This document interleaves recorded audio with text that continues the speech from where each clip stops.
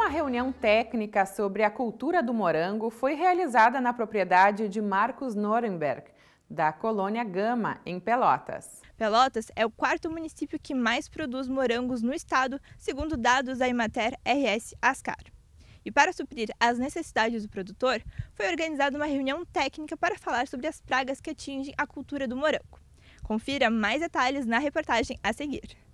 Nós vamos falar Durante a reunião foram abordadas duas pragas que podem ser controladas com enxofre líquido: o ácaro rajado e o oídio.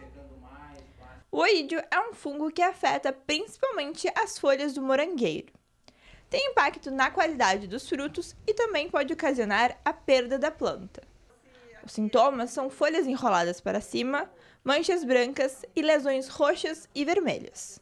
As estufas são os locais de produção mais afetados, porque a baixa luminosidade é propícia para a proliferação do problema. Ele é considerado um dos principais problemas fitossanitários, né?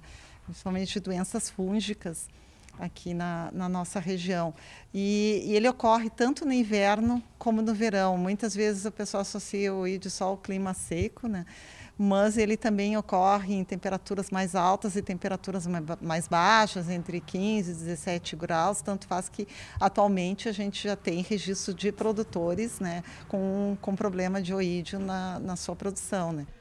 Os ácaros rajados também atacam as folhas e causam uma redução na fotossíntese, que é fundamental para o desenvolvimento das plantas.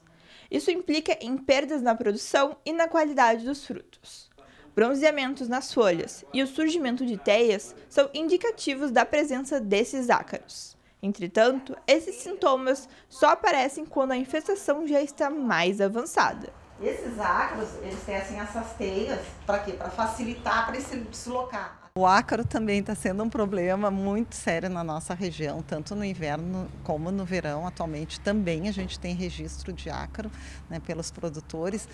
Mas se ele fizer um monitoramento adequado e de forma preventiva, ele tem como conviver evitando esse problema dentro da, da estufa ou mesmo na, na, no túnel baixo.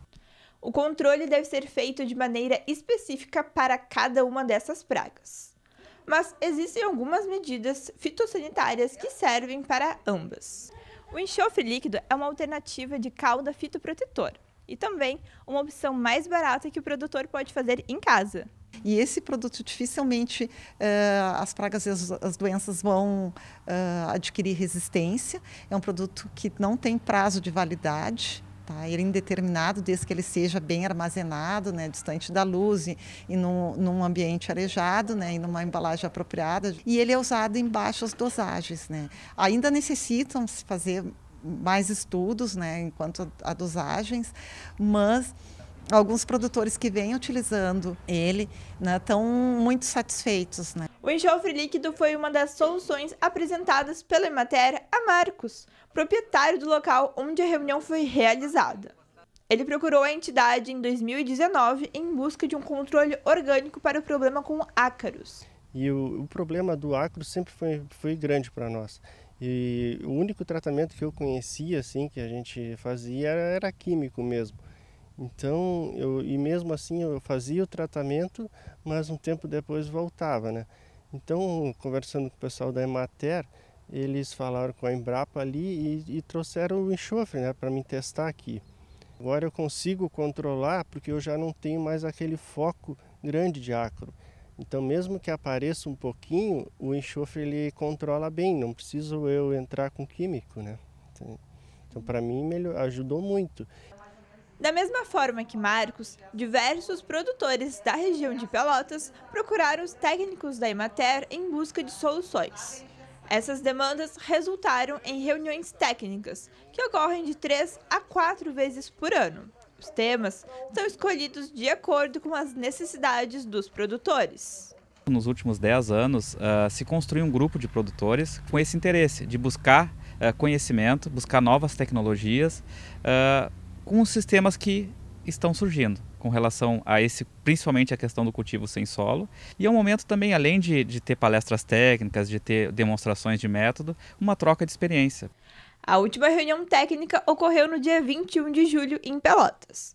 O evento foi uma promoção da Emater com a clínica fitossanitária, que é fruto da parceria com a Embrapa.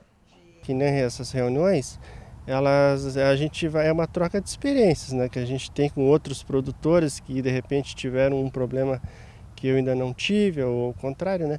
Então eu acho bem legal isso aí, aí ainda mais com o apoio da Embrapa e da Emater. Muita gente não quer deixar assim de ah, hoje tem muito serviço, não vou poder ir, alguma coisa assim, mas eu acho que vale a pena porque sempre vai estar tá aprendendo alguma coisa nova, sempre vai estar tá levando alguma novidade para casa, né? Algum que nem eu não conhecia o enxofre, hoje estou trabalhando com ele e gostei. Então é assim, é, é uma coisa que vale a pena, eu acho.